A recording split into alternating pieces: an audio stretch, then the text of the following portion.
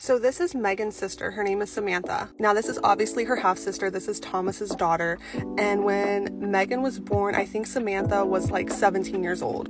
Samantha also wanted to be an actress and she pursued it but was not successful. She unfortunately has MS, so now she's confined in a wheelchair.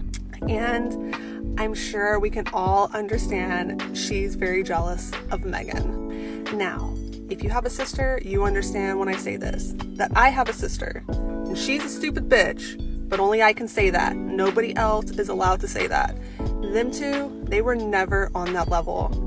Samantha called Meghan a narcissist and selfish as early as November 2016. That's when the news first broke that Harry and Meghan were a couple. So I'm sure a lot of you can relate to this.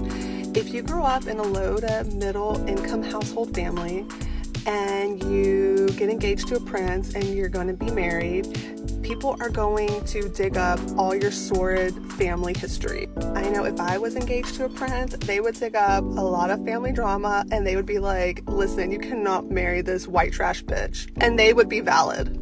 But most of the drama that came from Meghan was between her father, her brother Thomas Jr., and Samantha.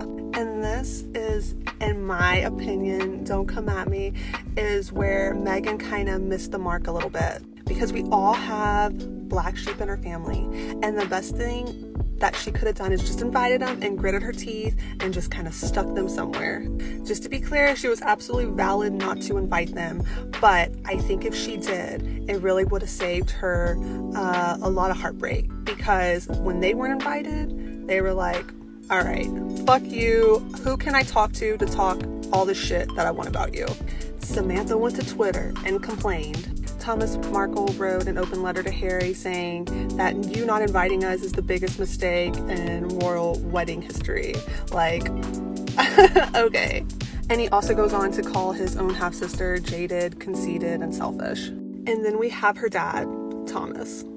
Thomas sold fake pictures of himself getting ready for the royal wedding um, and then never went. Now, what exactly caused the rift between Thomas and Meghan, I don't know. Because everything that I could find shows that he really doted on her growing up. He sent her to a really good private school. He paid for a lot of her um, college at Northwestern, and he just was all in all this really great dad.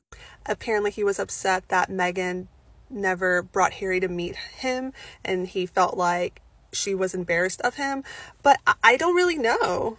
But no matter what your opinion is of Meghan, her dad did a lot of really shitty things.